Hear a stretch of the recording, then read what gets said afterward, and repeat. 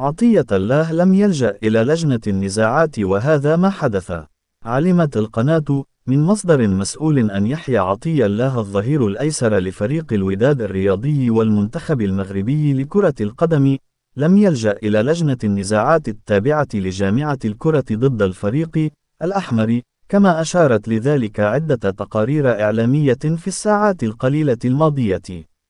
وأوضح المصدر نفسه أن عطية الله يعتبر أكثر متضرر من تأخر مستحقاته المالية العالقة في ذمة المكتب المسير لفريق الوداد الرياضي منذ سنوات،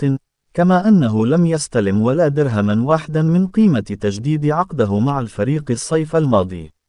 وأشارت ذات المصدر أن مدافع المنتخب الوطني ظل ينتظر لفترة طويلة توصله بمستحقاته المالية، قبل أن يعلم أنه مهدد بالحرمان منها بحكم أنها ستسقط في التقادم مع نهاية الجنبر الماضي، ليبادر محاميه ويرسل إنذارا لإدارة الوداد الرياضي كما تنص على ذلك القوانين المنظمة، خاصة وأن عطية الله يدين للوداد بأزيد من 70% من مجموع مستحقاته منذ التحاقه بالفريق.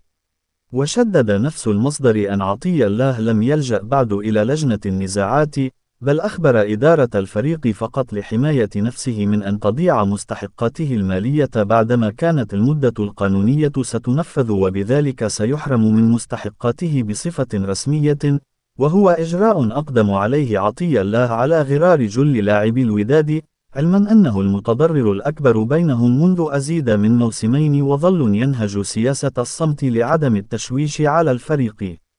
كما أشار المصدر أن عطية الله دفع من ماله الخاصة مصاريف الفحص الطبي قبل تجديد عقده مع الوداد الرياضي، ومصاريف أخرى من قبل، بحكم حبه الكبير لقميص الوداد الرياضي، والاحترام الذي يكنه لجمهور الوداد ومؤسسته.